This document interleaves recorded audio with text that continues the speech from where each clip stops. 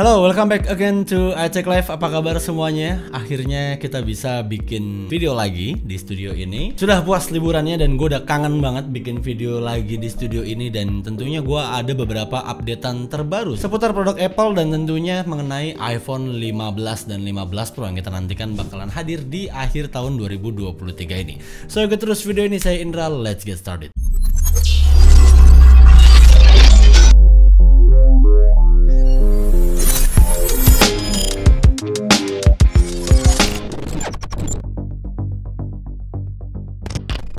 Ya, karena ini udah masuk bulan Mei, which is berarti kita sudah semakin dekat dengan bulan Juni. Buat yang lupa, bulan Juni ada apa sih Bang emangnya? Bulan Juni bakalan ada Apple Event WWDC, Worldwide Developer Conference. Jadi tiga bulan mendatang, Apple bakal memperkenalkan operating system operating system terbaru mereka untuk semua lini Apple produk mereka. Ada iOS, macOS, watchOS, tvOS, semua operating system produk-produknya mereka. Dan mengenai iOS, berkaca dari update iOS 16 di tahun lalu, yang emang signifikan banget improvementnya di customize lock screennya. Jadi ya di lock screennya kalian bener bisa mengatur terus ada 3D wallpaper juga yang bisa ngeblend dengan jam di lock screen kalian ganti tema bla bla bla. Ya buat kalian udah update iOS 16 pastinya udah pada tahu ya. Dan ada apa nih kira-kira di iOS 17 apakah Apple bakal bermain di lock screen lagi? Katanya sih begitu. Ada report katanya di iOS 17 bakalan ada fitur-fitur terbaru khususnya untuk di lock screen lalu untuk UI Apple Music update dan sebagainya. Dan katanya juga iOS 17 bakalan lebih difokus difokuskan untuk Dynamic Island ya. Jadi fitur-fitur Dynamic Island itu akan lebih dikembangkan lagi tentunya pada update iOS 17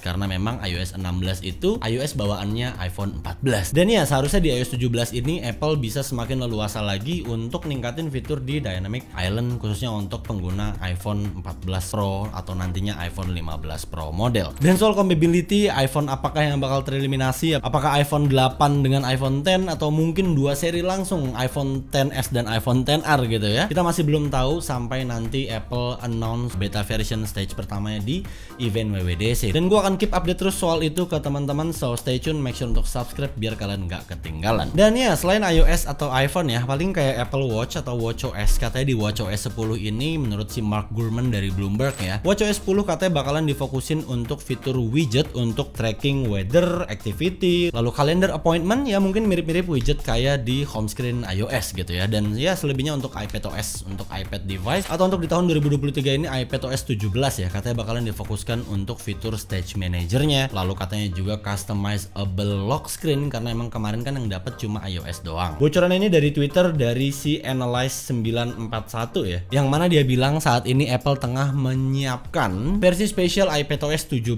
yang mana sebelumnya memang dikabarkan Apple katanya lagi ngedevelop iPad dengan diagonal 14,1 inch yang kabarnya bakalan dirilis di tahun tahun 2024. Cuman kita masih belum tahu itu lininya iPad Pro kah atau mungkin iPad Air kah atau mungkin yang base modelnya mengingat untuk display iPad Pro semuanya sudah full display ya. Sudah tidak ada yang generasi yang masih menggunakan home button. Dan tentunya operating system lainnya seperti macOS, tvOS, bla bla bla. Pokoknya nanti bakal di-reveal sama Apple. Beta stage pertamanya itu di bulan Juni pada saat event WWDC. Jadi kita lihat aja nanti. Next ada berita produk-produk terbaru Apple yang bakal dirilis sama Apple ya. Ini cukup unik juga produk produknya dan kalau nggak salah kita juga pernah review di channel iTech Live yaitu Beats Studio Buds Plus. Beats Studio Buds ini ya seperti yang tahu ya, Beats itu kan sudah diakuisisi sama Apple ya. Walaupun ada yang bilang teorinya Beats dibeli Apple biar dimatiin, biar AirPods-nya laku gitu ya. Atau mungkin teknologi yang digunakan di Beats diterapkan di AirPods yang TWS-nya Apple ya. Tapi ya tetaplah Beats, gue suka banget sama Beats dari zaman sebelum dibeli sama Apple ya, masih by Dr. Dre gitu,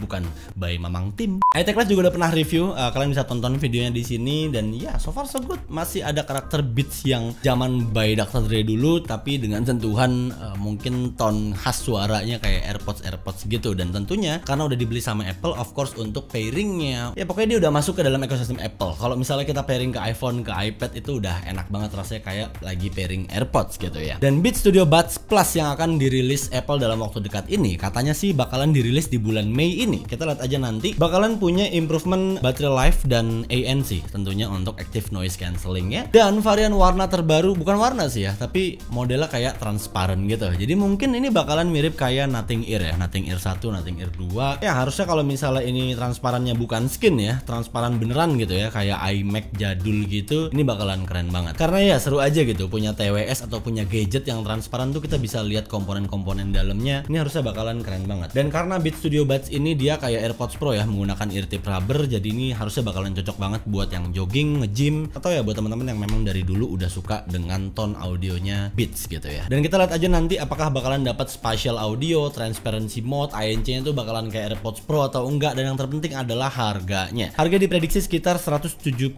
US dollar ya sekitar 2 jutaan sekian lah ya dan akan shipping start di Mei 18 bulan ini. Ya kalau dari harganya kayaknya ini levelnya emang disandingkannya itu dengan Nothing Ear 2 atau AirPods yang generasi Dan next masih seputar per audioan per headsetan ya kan gue mau dongeng dulu ya kan. Jadi pada suatu hari saat kalian membeli Apple produk khususnya iPhone, rumor atau cerita rakyatnya itu katanya mendapatkan headset gratis dalam dusnya. Oh betul itu zaman dulu dapat headset, sekarang tidak. Ya earpods ya, earpods bukan AirPods. Kabarnya bakalan di launching sama Apple untuk versi yang USB-C-nya. Karena dulu tuh kalau kita lihat earpods, earpods yang berkabel, headset berkabelnya Apple yang suaranya hmm enak sekali itu ya kan. Sampai sekarang gue masih suka banget sama karakter suaranya. Awal-awal kan dia rilis yang versi aux 3,5 mm jack gitu ya. Lalu pada generasi seri iPhone 7 audio jack dihilangkan sama Apple digantilah ke Lightning gitu ya. Jadi earpods tapi colokannya Lightning. Nah, sekarang nih kabarnya Apple udah mass production earpods untuk colokan USB-C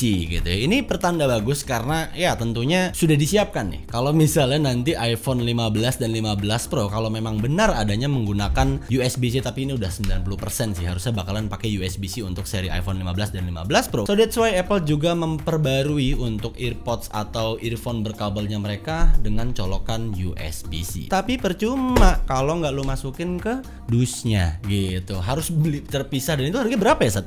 300, 400? Oh, gope. Iya, gope. Mahal loh. Earphone Apple tuh apalagi yang masih bawaannya tuh suaranya mantep banget. Dan ya kalau dulu kan ada tuh adapternya dari jack 3,5 mm ke lightning gitu kan atau mungkin USB-C ke lightning cuma biar bisa pakai earpods tersebut. Ya harusnya nanti kalau misalnya udah ada earpods yang berkabel ini dengan USB-C teman-teman bisa pakai untuk iPad Pro, iPad mini atau iPad Air yang memang udah menggunakan USB-C karena gue yakin di luar sana masih banyak banget teman-teman yang masih mengandalkan earphones yang masih menggunakan kabel ya tentunya untuk experience-nya untuk latensinya juga berbeda kalau kita bandingin dengan yang wireless version. Ya next kita bahas iPhone 15 series ya khususnya untuk yang base model dan pro model. Rumor ini kemarin keluar tuh pas gue udah mudik ya, sudah di kampung halaman dan gue liat hmm menarik sekali dan gue akan pengen bawain dan nyampein ke teman-teman kalau ini adalah eksklusif render cat dari 925 Mac dan berkolaborasi dengan reliable source ya, source yang benar-benar bisa diandalkan sekali untuk tingkat akurasinya. Ya sebelumnya yang dirumorkan kalau kita merujuk dari video-video kita sebelumnya ya dari sumber-sumber yang sudah membeberkan katanya iPhone 15 Pro atau 15 base model bakalan menggunakan desain volume button yang kegabung gitu ya kayak generasi iPhone 2G, 3G atau iPad yang jadul-jadul gitu dan volume buttonnya itu menggunakan haptic button. Tapi ternyata untuk update paling terbarunya volume up, volume downnya itu tidak jadi digabung. Jadi bakalan tetap kepisah seperti iPhone ya iPhone iPhone pada umumnya 14, 13, 12 gitu ya. Dan yang berbeda di sini hanya untuk di bagian mute switchnya ya. Di video sebelumnya kita juga udah bahas kalau rumornya katanya mute switchnya ini sudah tidak di switch naik turun lagi tapi dia bakalan dipencet. Jadi ini bakalan menjadi sebuah button yang kabarnya Apple bakal menyebutnya ini adalah action button. Action button ini merujuk ke Apple Watch Ultra ya, button Apple Watch Ultra yang warna oranye ini yang di mana button ini bisa kita customize. Jadi nggak cuma untuk satu fungsi aja, bisa kita makro lah istilahnya untuk berbagai macam fungsi yang kita inginkan. Jadi mungkin mungkin ke depannya untuk iPhone 15 Pro di bagian mute switchnya ini atau nantinya action buttonnya ini bisa kita setup apakah ini bisa buat mute atau mungkin button buat aktifin flash kalau misalnya tiba-tiba kita pengen akses flash di iPhone kita. Ya atau mungkin function-function lainnya lah kalian bisa lihat di layar kalian saat ini. Lalu kalau kita ngelihat ke bagian bodinya soal body ini harus gue bahas setiap gue bawain rumor iPhone 15 ya karena something new harusnya untuk di experience iPhone 3 tahun terakhir terakhir ini karena semenjak generasi iPhone 12, 13, 14 itu ya feel gripnya yang kita rasain ya itu bener-bener kayak feel gripnya iPhone 5 atau mungkin iPhone 4 gitu ya. Jadi kayak iPhone 5 itu kan pinggirannya ada diamond cutting. Itu mirip-mirip sama feel gripnya di iPhone 14 Pro, iPhone 13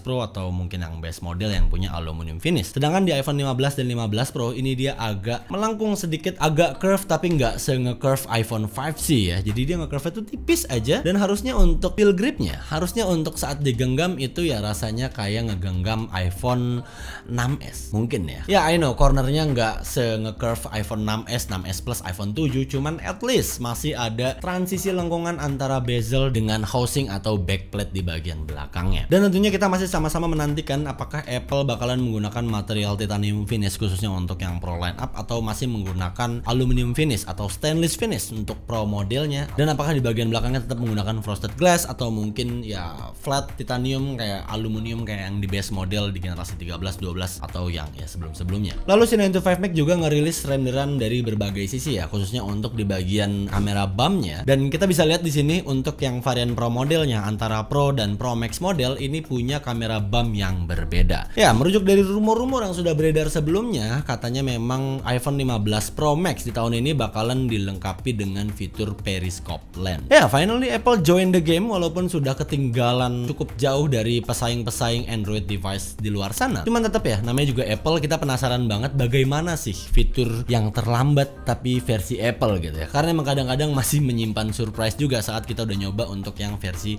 Apple-nya. Buat yang belum tahu periscope lens itu adalah lensa yang dikhususkan untuk ngezoom ya. Jadi biar bisa ngezoom sejauh mungkin namun tanpa harus khawatir dengan resolusi yang diberikan karena ini adalah optical zoom bukan digital zoom. Ya, klasik Apple seperti generasi-generasi sebelumnya, sensor shift itu pasti pertama kali ada di Pro Max model. Lalu di iPhone 6s Plus pertama kali ada OIS atau optical image stabilization. Ya, pastinya memang awal-awal tuh dicobanya atau dikasihnya itu pasti ke varian iPhone tertinggi yaitu iPhone Pro Max dan di iPhone 15 Pro Max ya kamera bumpnya bakalan lebih besar dari yang varian iPhone 15 Pro karena bakal dihadirkan lensa periscope atau periscope lens buat ngezoom pori-pori. Dan ya tentunya masih banyak sekali perubahan-perubahan yang kita nantikan khusus untuk di seri iPhone 15 Pro dan 15 Pro Max atau mungkin yang best modelnya ya seperti tentunya USB-C yang akhirnya sudah sekian tahun kita nantikan. Ya, Apple bakalan ngasih USB-C di iPhone 15 dan 15 Pro di tahun 2023 ini. Lalu untuk kapasiti baterainya mAh baterainya harusnya juga bakalan naik. Karena memang dari lima tahun terakhir improvement yang Apple berikan itu pasti pada baterai performance-nya. Dan itu sangat amat kerasa sekali dari tiap tahun gue coba uh, varian terbaru. Line up update flagship Apple di tiap tahunnya. Dan tentunya di bagian layar ya katanya di iPhone 15 Pro dan Pro Max ini layarnya bakalan super super tipis. Bezelnya ya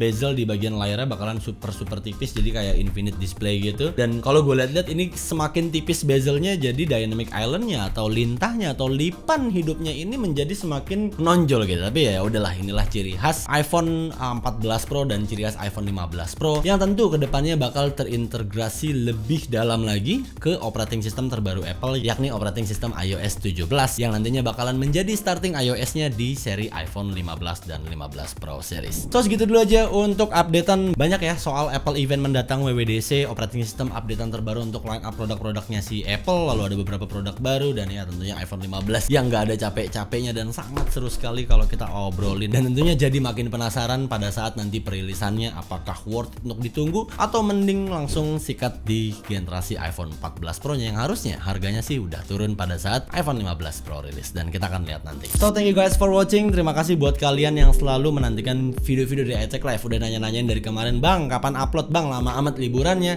and ya yeah, I'm back. Hopefully dalam beberapa waktu ke depan kita juga akan keep in touch ya soal berita-berita kayak gini atau ada video-video lainnya seputar tips trik review Apple device dari channel iTech Live. So make sure untuk subscribe biar gak ketinggalan video-video terbaru dari kita. Please like, comment, and share this video. Sehat-sehat untuk teman-teman semua. Kita ketemu lagi di video berikutnya. Saya Indra. Until next time. Goodbye.